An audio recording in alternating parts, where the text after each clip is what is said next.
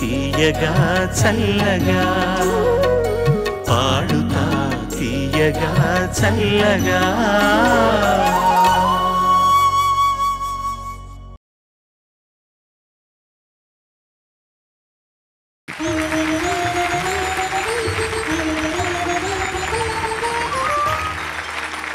శ్రీలలిత ఎంపిక చేసుకున్న పాట రచన శ్రీమణి సంగీతం జోష్వా శ్రీధర్ గానం సునీత అండ్ సుజానే బృందం. సెగ అన్న సినిమా నుంచి వర్షం ముందుగా అన్న పాట.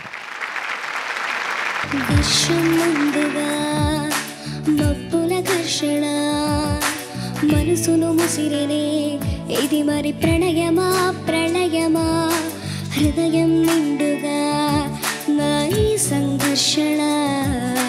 నన్నే మరిచనే. ఇది బాధో ఏదో. కునుకేమో దరికి రాదు. ఒడుకే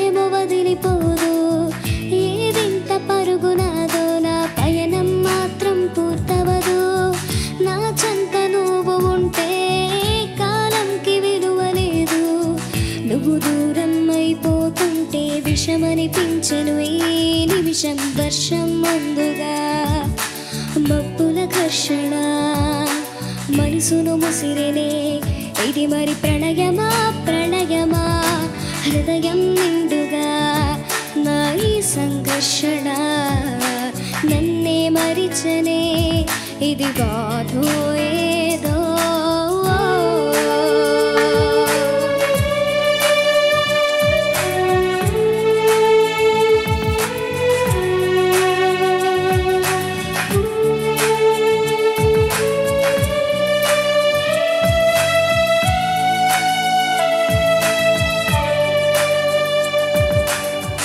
పసి వయసులో నాటిన విత్తులు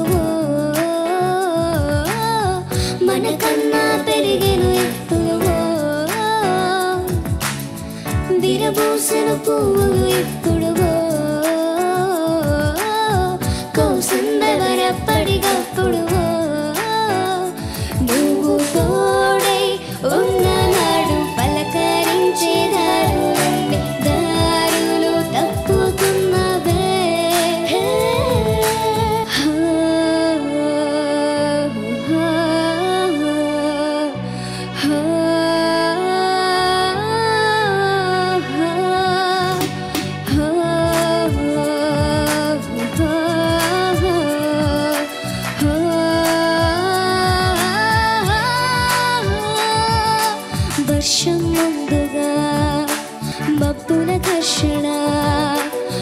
మనసును ముసిరినే ఇది మరి ప్రణయమా ప్రణయమా హృదయం నిండుగా నా ఈ సంఘర్షణ నన్నే మరిచనే ఇది బాధో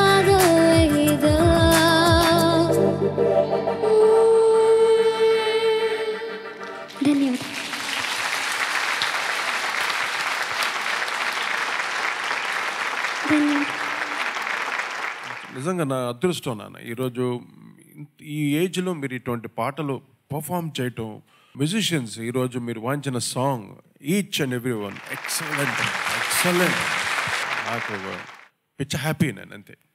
గాడ్ బ్లెస్